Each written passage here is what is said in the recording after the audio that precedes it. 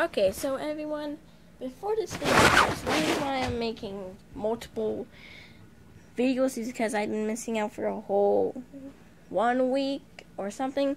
So today I will be doing Midori's voice, and if you want me to do another on, if you want me to do another Yandere simulator voices, leave them down in the comments. I can do anyone's except the Yandere chans. I do not know I could not do that. Anyway, okay, here we go.